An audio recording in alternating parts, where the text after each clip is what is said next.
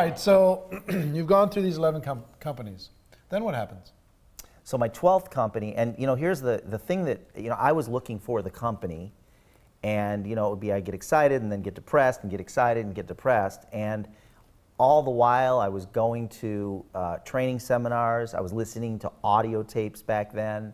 Um, in fact, uh, I was, I started to have success when audio tapes were still kind of out there. Today, you know, we've got CDs and MP3s and all that, but um, I, I stayed plugged in, and it wasn't a, it wasn't like, oh, I have to do my personal development. I was craving it Yeah, yeah. constantly. I would read and listen to audio tapes. I'd climb up and down the mountain in Phoenix, uh, listening to audio tapes, just feeding.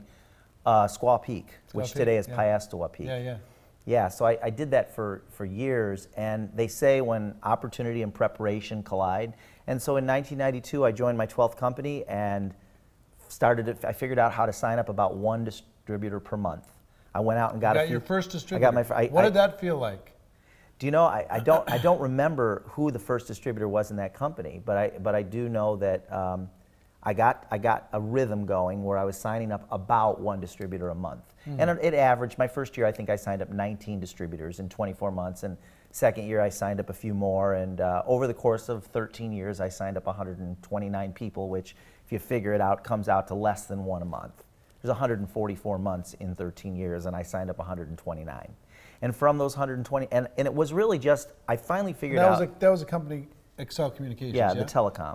Excel t- Communications back when lo- um, telephone long distance Right. was 10 cents a minute or Thir- 25. 30 cents a minute. 30 cents a 30 minute. cents a minute. Um, they people would switch out their long distance, and this company became a phenomenon. Right. And, there was uh, a book written about us and uh, became a huge, you know, the company was around for 16 years and company left me, I didn't leave them.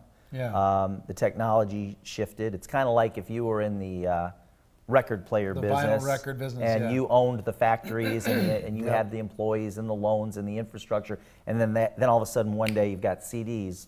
That all goes away. That's what happened to us. That doesn't matter. But the, the bottom line was that I figured out how to consistently sign up about one distributor a month, and then I, I plugged people into the system that was in place within our company. And I got really good at promoting the system. Mm-hmm. And really, that's, re- that's really all I did. And then out of those 129 people, and these numbers are pretty consistent among every, every single network marketing top leader, you'll find the numbers are pretty much the same. For every you know, 100 people that they've personally signed up, there's usually two or three that drive most of the business in terms of their organizations, and there's a few that do a little, and there's about a third that do nothing. And that just seems to be the numbers. And so in my business, it was the same thing. Out of 129 people, I had five people that drove 95% plus of all my income and in terms of their organizations. And then I had 124 people that did very little. They became customers or they quit. And uh, so that's kind of how. But the, the key was that I, I- I- one was the, my mindset to stay consistent and continually show the business to people, regardless of whether someone, you know, if I showed it to 10 people and none of them were interested, that didn't mean it wasn't going to work. It just means that some of them aren't ready now and they might come in later, and I, I just need to go to the next one and the next one until I find the next one.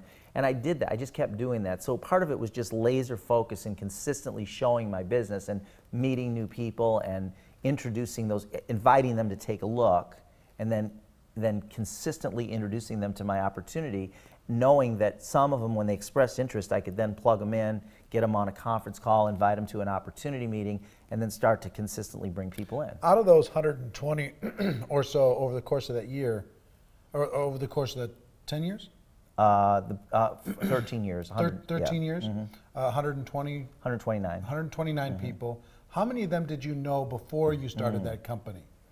Uh, probably uh, just a handful. Of A the ones I brought in, yeah, I met a lot of them over the course of Yeah, the time you that I was you would there. meet people. right? But so but- but people ju- who are saying, well, you know, gosh, I've been in like two network marketing companies, so I have no chance of having a future because everybody I know Mm-hmm. knows that I tried these other two things, so I don't have any chance. Right. But you you had 11. Yeah, and actually, when I look at it, you know, I worked for a major airline that had thousands of people. Some of those people I met, um, you know, throughout the course of my career at the airline. And in the early days, my first year and a half or so, I would invite people from my job that I knew that were low risk, people that I knew that, uh, you know, and I did get in trouble at the airline. I did, okay, for doing network marketing and trying to manage a staff of employees, a small staff of employees at the airline. But I was, I was being very careful about it. And the people that I knew that I could trust, I would invite them to go get coffee. And, and at the time, again, my income was significantly under $20,000 a year at the airline and I did not have money to buy people lunch. I mean, mm-hmm. when we would go, to, I could not buy people lunch three or four days a week. So what I would do is I'd pack my lunch, and then we would go and, and we'd go to a coffee place, and I could buy them coffee, mm-hmm. or if they wanted to be buy my lunch, they could do that. And I started with a yellow pad and a black or blue felt tip pen. I drew circles and explained the program and gave them brochures and